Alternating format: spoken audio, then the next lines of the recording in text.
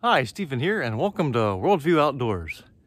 Today I'm giving you my initial one month preview of the men's PAKAFILL ultra lightweight puffer jacket.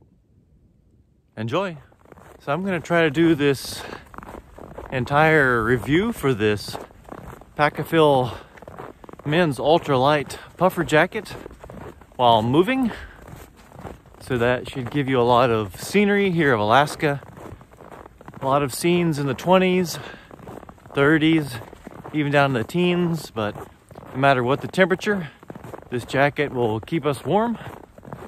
We're gonna go ahead and hit this trail and enjoy the video. So let's start with the specs. The men's PAKAFILL jacket weighs 20 ounces, which is 1 pound 4 ounces. The entire jacket is baffle designed on the exterior, but on the inside, as you can see, it is a solid internal lining, so the threads do not reach all the way through for the wind to pass through. You can see the jacket has an internal zip pocket, as you see here. The edges of the coat have a special lining that's antibacterial. Both Sides of the jacket have a zip closure which is fleece lined. And of course the lining is a Peruvian alpaca fiber.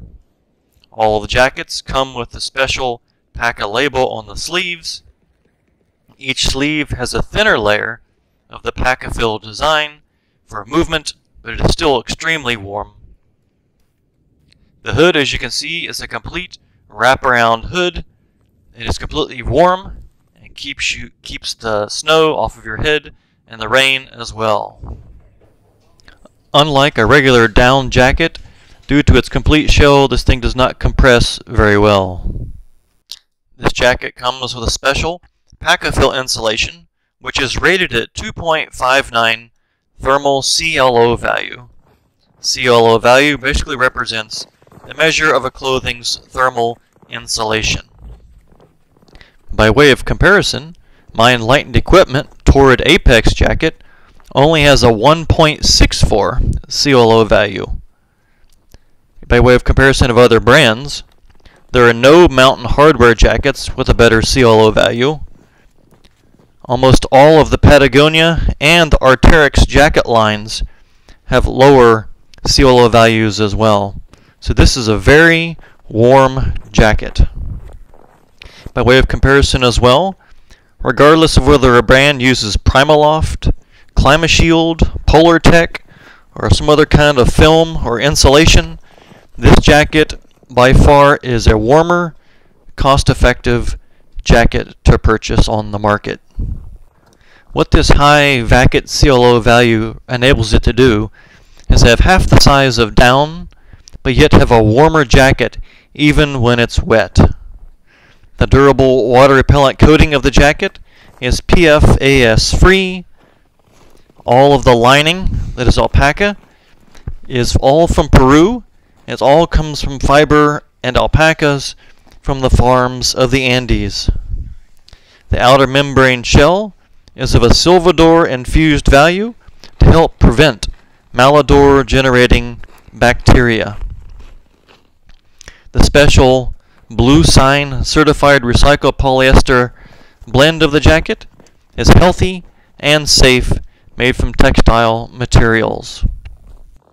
So putting all of these features together and the benefits of this jacket, this jacket provides you warmth without the bulk.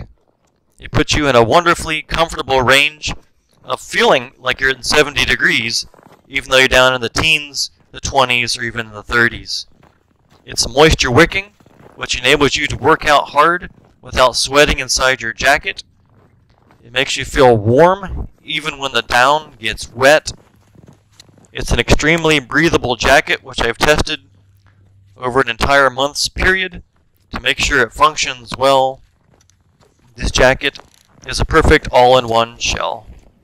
Now this concludes our one month review in both 10 degrees, 20 degrees, and 30 degrees weather here in Alaska for the men's PAKAFILL ultralight puffer jacket.